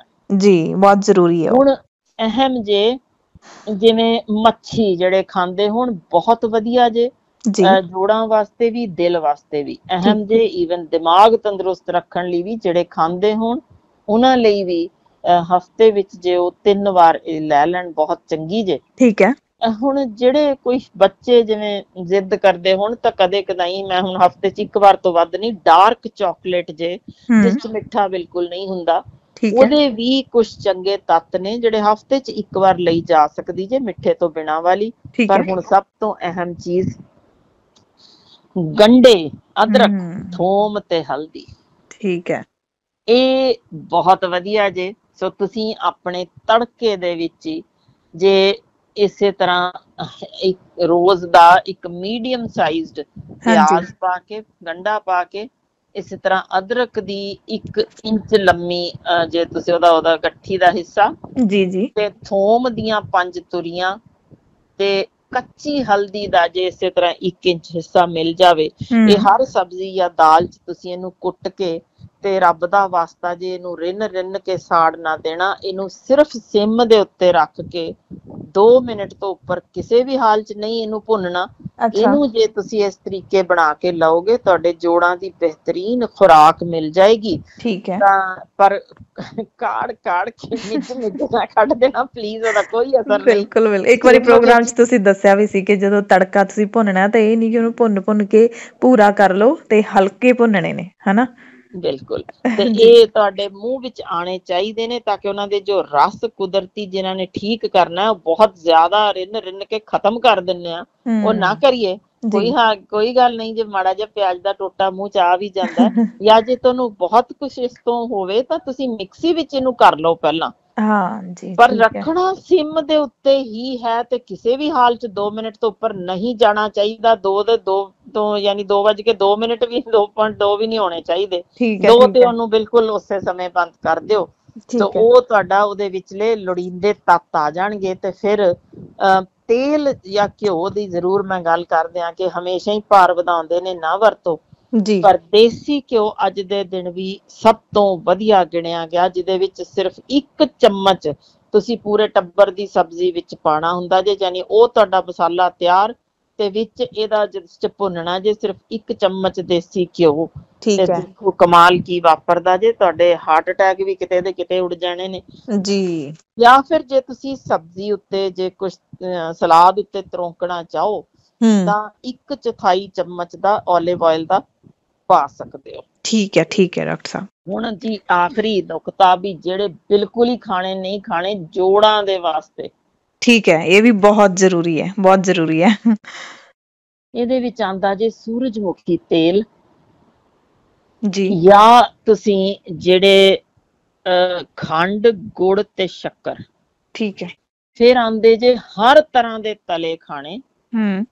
ਤੇ ਆਖਰੀ ਜੇ ਪ੍ਰੋਸੈਸਡ ਖਾਣੇ ਜਾਂ ਡੱਬਾ ਬੰਦ ਚੀਜ਼ਾਂ ਇਹ ਤਾਂ ਬਿਲਕੁਲ ਵੇਖੀਆਂ ਨਹੀਂ ਜਾ ਸਕਦੀਆਂ। ਸੋ ਇਹ ਚੀਜ਼ਾਂ ਤੋਂ ਗੁਰੇਜ਼ ਕਰਨਾ ਹੀ ਪੈਣਾ ਭਾਵੇਂ ਉਹ ਤੁਹਾਡੀ ਸੀਲਡ ਲੱਸੀ ਦੀ ਡੱਬੇ ਕਿਉਂ ਨਾ ਹੋਵੇ? ਭਾਈ ਘਰ ਦੀ ਲੱਸੀ ਬਿਨਾਂ ਖੰਡ ਦੇ ਹਲਕਾ ਜਿਹਾ ਨਮਕ ਪਾ ਕੇ ਦੇਖੋ ਕਿੰਨੀ ਮਜ਼ੇਦਾਰ ਲੱਗਦੀ ਜੇ। ਸਹੀ ਗੱਲ ਹੈ। ਲੱਸੀ ਕਮਾਲ ਉਹਦੇ ਵਿੱਚ ਮਾੜਾ ਜਿਹਾ ਪਾਓ ਕਾਲਾ ਨਮਕ ਦੇਖੋ ਕਿੰਨਾ ਮਜ਼ਾ ਆਉਂਦਾ ਜੇ। ਬਿਲਕੁਲ ਬਿਲਕੁਲ ਮੈਂ ਤਾਂ ਸੋਚਦੀ ਹੁੰਦੀ ਹਾਂ। ਹਾਂਜੀ ਹਾਂਜੀ। ਤਾਂ ਜਾਂ ਫਿਰ ਦੇਖੋ ਮੈਂ ਤਾਂ ਤੁਹਾਨੂੰ ਪਹਿਲਾਂ ਹੀ ਹਰਸ਼ਰਨ ਜੀ ਕਹਿਤਾ ਜੇ ਤਾਂ ਸਾਨੂੰ ਨਾ ਬੁਲਾਣਗੇ ਅਦਰਕ ਵਾਲੀ ਵਧੀਆ ਜੀ ਚਾਹ ਪਿਆਣ ਲਈ। ਜਿਸ ਚ ਮੋਟੀ ਲਾਚੀ ਵੀ ਹੋਏ ਛੋਟੀ ਲਾਚੀ ਵੀ ਹੋਏ ਲੌਂਗ ਵੀ ਹੋਏ ਸੌਂਫ ਵੀ ਹੋਏ ਤੇ ਫਿਰ ਕਮਾਲ ਹੋ ਜਾਏ ਉਹਦੇ ਵਿੱਚ ਅਸੀਂ ਹਿਬਿਸਕਸ ਦਾ ਇੱਕ ਫੁੱਲ ਦਾ ਇੱਕ ਪੱਤਾ ਪਾ ਦਿਓ ਨਾਲ ਪਾ ਦਿਓ ਪੁਦੀਨਾ ਤੇ ਸਾਨੂੰ। ਚਾਹ ਪੱਤੀ ਦੀ ਲੋੜ ਹੀ ਨਹੀਂ ਆਹੀ ਬਣਾ ਕੇ ਸਾਨੂੰ ਦੇ ਦਿਓ ਤੇ ਫਿਰ ਕਮਾਲ ਹੀ ਹੋ ਜਾਏਗੀ। ਅਸੀਂ ਤਾਂ ਇਹ ਕਦੇ ਵੀ ਪੀਣ ਵਿੱਚ ਤਾਜ਼ੀ ਅਦਰਕ ਜਿਸ ਨੂੰ ਵਰਤਣ ਦਾ ਇੱਕੋ ਹੀ ਢੰਗ ਜੇ ਕਿ ਜਦੋਂ ਚਾਹ ਬਣ ਕੇ ਤਿਆਰ ਹੋ ਗਈ ਜੇ ਹਾਂਜੀ। ਦੋ ਬੂੰਦਾਂ ਤਾਜ਼ੀਆਂ ਅਦਰਕ ਦੀਆਂ ਉਹਦੇ ਵਿੱਚ ਤੁਸੀਂ ਨਿਚੋੜ ਕੇ ਉਸ ਸਮੇਂ ਪਾਣੀਆਂ ਜੇ ਰਿੰਨਣੀ ਨਹੀਂ ਹੈ ਚਾਹ ਦੇ ਅੰਦਰ ਫਿਰ ਵੇਖੋ ਕੀ ਕਮਾਲ ਵਾਪਰਦਾ ਜੇ। ਜੀ। ਪਰ ਸਿਰਫ ਤਾਂ ਮੈਨੂੰ ਤੇ ਹਰਸ਼ਰਨ ਨੂੰ ਤੁਸੀਂ ਇਹੋ ਜੀ ਫਸਟ ਕਲਾਸ ਦੀ ਚਾਹ ਤੇ ਆਉਣ ਲਈ ਸੱਦਾ ਭੇਜੋਗੇ ਦੋਸਤਾਂ ਮਿੱਤਰਾਂ ਨੂੰ ਜ਼ਰੂਰ ਸਾਡਾ ਪ੍ਰੋਗਰਾਮ ਸਾਂਝਾ ਕਰ ਦਿਓਗੇ। ਬਿਲਕੁਲ ਤੇ ਸਾਨੂੰ ਮਤਲਬ ਅੰਦਰੇ ਅੰਦਰ ਕਈ ਸਾਡੇ ਦਰਸ਼ਕ ਨਾ ਬਹੁਤ ਗਾਲਾਂ ਬਹੁਤ ਕੱਢਦੇ ਹੋਣਗੇ ਕਿ ਅਸੀਂ ਬੁਲਾਇਆ ਸੀ ਪਿਛਲੇ ਸਾਲ ਵੀ ਤੇ ਆਏ ਹੈ ਨਹੀਂ ਗੱਲਾਂ ਹੀ ਕਰਦੇ ਰਹਿੰਦੇ ਨੇ। ਦੂਸਰੀਆਂ ਸਰਦੀਆਂ ਹੁਣ ਆਉਣ ਵਾਲੀਆਂ ਹੋ ਗਈਆਂ ਦੂਜਾ ਸਿਆਲ ਚੜ੍ਹਨ ਵਾਲਾ ਹੈ। ਤੇ ਐਤਕੀ ਐਤਕੀ ਤਾਂ ਆਪਾਂ ਜ਼ਰੂਰ ਜਾਵਾਂਗੇ। ਬਿਲਕੁਲ ਮੈਂ ਸਾਰਿਆਂ ਤੋਂ ਹੱਥ ਜੋੜ ਕੇ ਖਿਮਾ ਮੰਗਦੀ ਆ ਕਿ ਕਈ ਵਾਰ ਰੁਝੇਵੇਂ ਇੰਨੇ ਜ਼ਿਆਦਾ ਹੋ ਜਾਂਦੇ ਨੇ ਕਿ ਸੱਚਮੁੱਚ ਵਕਤ ਆਪਣੇ ਜੋਗਾ ਵੀ ਨਹੀਂ ਬਚਦਾ ਕਈ ਵਾਰ ਕਿਉਂਕਿ ਪ੍ਰੋਗਰਾਮ ਵੀ ਕਰਨੇ ਕਿਤਾਬਾਂ ਵੀ ਲਿਖਣੀਆਂ ਸਟੂਡੈਂਟਸ ਨੂੰ ਪੜਾਉਣਾ ਪੇਪਰ ਲੈਣ ਜਾਣੇ ਐਮਰਜੈਂਸੀਆਂ ਦੇਖਣੀਆਂ ਵਾਕਈ ਰੁਝੇਵੇਂ ਹੁੰਦੇ ਨੇ। ਪਰ ਜ਼ਰੂਰ ਅਸੀਂ ਫਿਰ ਵੀ ਕਿਸੇ ਨਾ ਕਿਸੇ ਐਤਵਾਰ ਮੇਰਾ ਖਿਆਲ ਹੈ ਹਰ ਜ਼ਰੂਰ, ਜ਼ਰੂਰ। ਜਿਹਦਾ ਵੀ ਪਹਿਲਾ ਸੱਦਾ ਆ ਗਿਆ ਵਾਰੀ ਉਹਦੀ ਅਸੀਂ ਜ਼ਰੂਰ ਚੱਲਾਂਗੇ। ਬਿਲਕੁਲ ਬਿਲਕੁਲ। ਮੈਂ ਮੈਂ ਵੀ ਖਾਸ ਤੌਰ ਤੇ ਅਪੀਲ ਕਰ ਹਾਂ ਆਪਣੇ ਦਰਸ਼ਕਾਂ ਨੂੰ ਕਿ ਅਸੀਂ ਅਕਤੂਬਰ ਮਹੀਨਾ ਛੱਡ ਕੇ ਨਵੰਬਰ ਮਹੀਨੇ 'ਚ ਸਾਨੂੰ ਕਿਸੇ ਵੀ ਵੇਲੇ ਤੁਸੀਂ ਬੁਲਾ ਲਓ ਅਸੀਂ ਐਤਵਾਰ ਦੇ ਦਿਨ ਆਵਾਂਗੇ ਤੇ ਇੱਕ ਦਿਨ ਉੱਥੇ ਹੀ ਫਿਰ ਖਾਲਸ ਖਾਣਾ ਕਰਕੇ ਆਵਾਂਗੇ ਸਾਰਾ। ਜਿਹੜੇ ਜਿਹੜੇ ਵੀ ਪਿੰਡ ਵਾਸੀ ਸਾਨੂੰ ਬੁਲਾਉਣਾ ਚਾਹੁੰਦੇ ਨੇ ਤੇ ਅਸੀਂ ਜ਼ਰੂਰ ਪਹੁੰਚਾਂਗੇ। ਬਿਲਕੁਲ ਬਿਲਕੁਲ। ਅਸੀਂ ਸਾਰੇ ਸਗੋਂ ਉਹਨਾਂ ਦੇ ਸਵਾਲ ਵਿੱਚ ਲਵਾਂਗੇ ਤੇ ਉਹਨਾਂ ਦੇ। ਜਵਾਬ ਦੇ ਕੋਸ਼ਿਸ਼ ਕਰਾਂਗੇ ਸਾਰਿਆਂ ਦੇ ਦਿੱਤੇ ਜਾਣ। ਜੀ ਡਾਕਟਰ ਸਾਹਿਬ। ਸੋ ਬਹੁਤ ਬਹੁਤ ਡਾਕਟਰ ਸਾਹਿਬ ਧੰਨਵਾਦ ਤੁਹਾਡਾ ਤੇ ਸਾਡੇ ਦਰਸ਼ਕਾਂ ਦਾ ਵੀ ਧੰਨਵਾਦ। ਜੇ ਤੁਹਾਡਾ ਜੋੜਾਂ ਦੇ ਦਰਦ ਨੂੰ ਲੈ ਕੇ ਕੋਈ ਵੀ ਸਵਾਲ ਹੈਗਾ ਆ ਤੁਸੀਂ ਇਸ ਪ੍ਰੋਗਰਾਮ ਦੇ ਵਿੱਚ ਕਮੈਂਟ ਕਰਕੇ ਪੁੱਛ ਸਕਦੇ ਹੋ ਜਾਂ ਫਿਰ ਸਾਨੂੰ ਈਮੇਲ ਕਰ ਸਕਦੇ ਹੋ ਜਿਹੜਾ ਈਮੇਲ ਆਈਡੀ ਦਿੱਤਾ ਹੋਇਆ। ਸੋ ਬਹੁਤ ਬਹੁਤ ਧੰਨਵਾਦ ਡਾਕਟਰ ਹਰਸ਼ਿੰਦਰ ਕੌਰ ਜੀ ਤੇ ਸਾਰੇ ਦਰਸ਼ਕਾਂ ਦਾ ਅਗਲੇ ਹਫ਼ਤੇ ਫੇਰ ਮਿਲਦੇ ਹਾਂ। ਧੰਨਵਾਦ। ਸਤਿ ਸ਼੍ਰੀ ਅਕਾਲ। ਸਤਿ ਸ਼੍ਰੀ ਅਕਾਲ।